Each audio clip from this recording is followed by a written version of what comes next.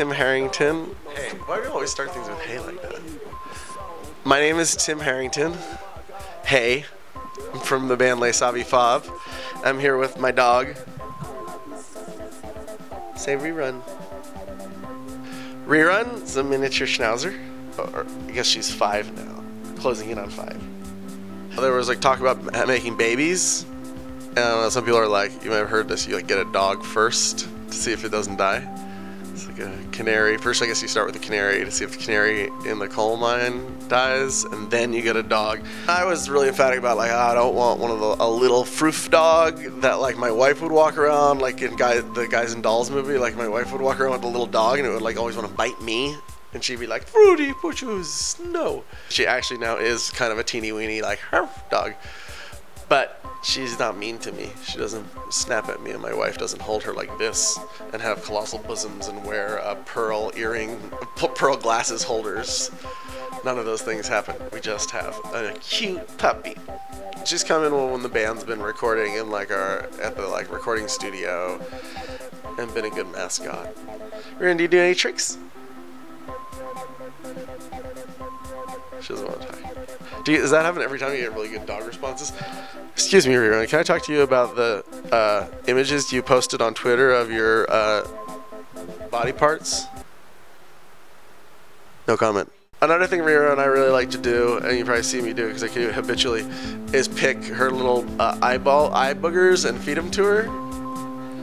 Always, always, always. We when we what we do that no one else in the family does with her. Other people will pet her. Other people will snuggle her.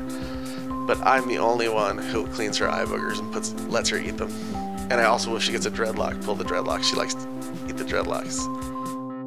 She operates in two modes. One is total stealth ninja, where you, like, I'll walk her without a leash, and I'll be like, "Where did she go?" And looking all around, I can't find her, and she's perfectly situated in my exact blind spot, silently following.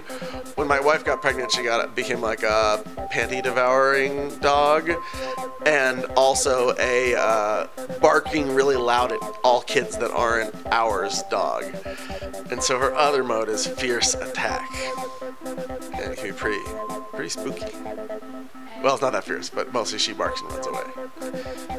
When each of my kids were born, uh, like in some weird stupor of exhaustion, went to like go buy milk or something, brought Rion with me, and then walked home and left her uh, on the collar died in front of the bodega, and then like an hour later was like, "Where's the? Oh my gosh!" And go back in the room, be sitting out front, all depressed and bummed out.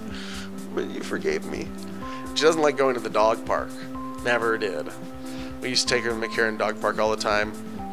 She'll sniff a butt, but she doesn't want anyone sniffing hers. She's very private about her business, right? Whose butt?